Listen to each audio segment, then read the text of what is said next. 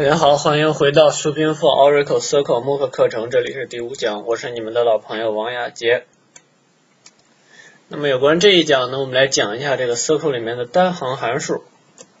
这个有关函数大家都不陌生，就是非常在程序段里边非常常用的一个东西，相当于是一个工厂对数据进行加工处理的。Circle 里面的单行函数呢？和一般的函数也是，其实是没有什么区别的，用来操作数据项，然后它可以接受多个参数并返回一个值，它可以作用于每一个返回行，让每行返回一个结果，然后它可以修改数据类型，这个是我们非常常用的进行数据类型的转换。它可以嵌套，可以接受多个参数，然后参数可以是一个列或一个表达式。同时，这个规范的格式就是函数名加参数，这个是跟别的编程语言是一样的。SQL 里面的单行函数呢，一般分为字符函数、数字函数、日期函数、转换函数和通用函数五大类。那么字符函数，我们先来看一下这个大小写处理函数。我们用这些函数来转换字符串的大小写，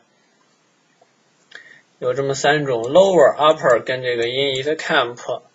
lower 函数用来把给定的字符串中所有字符转换成小写字符，upper 转换成大写字符，init、camp。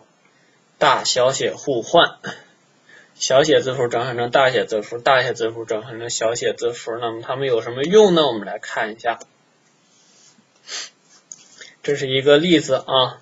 我们来想看这个雇员的雇员号、姓名和部门号，然后但是我们又不想这个，因为它的名字的开头的 H 是大写的嘛，我们又不想直接就是。写出来它规范的名字，第开头是字母大写，然后后边小写，因为大小写切换比较麻烦，所以我们就可以用一个偷懒的办法。怎么办呢？我们用这个，可以先看一下啊，如果直接写这个小写全小写的名字，然后我们是得不到正确结果的。那么，然后我们用这个 lower 函数把这个 last name 全部转换成小写。然后再直接输入它小写的名字，然后那么可以得到正确的结果。然后同时这个表中的数据还是不会变的，可以看到这首字母还是大写的。这是一个在处理数据中非常方便的一个小的技巧。然后当然用 upper 函数也是可以做到的。然后一些处理字符串的其他的函数。我们看两个最常用的吧，一个是 Legends 这个检测字符串长度的返回是一个数值，然后这个还有一个这个 Replace 查找替换，查找出给定的这个 J 字母，然后替换成给定的这个 BL，然后别的大家可以一目了然，像这个是连接函数 Concat。Substar 从第六个字符起截取五个字符，然后这个 Insert 计数查找相应的字符在这个字符串中的位置，然后像这两个函数比较不常用，我们就不说了。数字函数 round、trunc 跟这个 Mod。Round 四舍五入，trunc 截断指定小数，Mod 返回除法的余数。这个也是非常简单的，然后 round 跟这个 trunc 的唯一区别就是 round 会四舍五入，然后 trunc 直接截断。也可以看到这个给定数据，然后给定小数位数，然后最后得到相应的结果。同时这个。比较有意思的这个例子啊，看一下这儿，可以是负数给定的小数位数，那就是整数往前推一位。然后同时看一下这个 do 表，这个 do 是一个虚拟表，然后用它来查看函数和计算结果，相当于是一个缓存 cache 的存在。因为我们不可能把我们这个函数和计算结果直接写到这个数据表里边，这是对数据非常有危害的一个举动，所以我们就有一个缓存用来显示我们的。然后如果显示我们的这个函数和计算的结果，就是这个表了。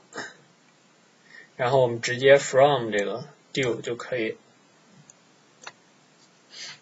同时，日期函数在 Oracle 中这个日期的使用，我们之前已经说过了。然后再多说一句吧，然后就是 Oracle 数据库中可以储存这个世纪。同时，这个默认的日期显示格式是日月年，没有问题。转换函数也就是我们常说的数据类型转换。它分为两种：隐式数据类型转换和显示数据类型转换。隐式数据类型转换就是自动的一个机器帮你转换，显示数据类型转换呢，就是我们人工的一个转换。然后我们可以看到这个，我们可以这个机器自动转换，就是很简单，我们给定一个 a，然后给 f 值等于一。这是一个很显然，这 a 是一个 number 型的。然后我们如果让 a 重复值的时候，我们写 a 等于 b 呢？b 肯定是一个叉型的，然后不能直接赋给这个 number 型的 a。那我们这个服务器会自动的转换，把这个 b 转换成对应的这个阿斯格码，然后阿斯格码显然是 number，然后存到这个对应的这个 a 中。